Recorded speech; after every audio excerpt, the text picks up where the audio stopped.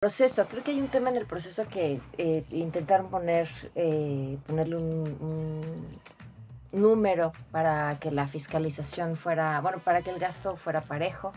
eh, para que fuera más fácil fiscalizarlo. Y sin embargo ahí, ahora sí que el, el tema de los espectaculares quedó, pues, como un asunto sin resolver y como pareciera un asunto del que fácilmente se lavaron las manos todos los contenedores.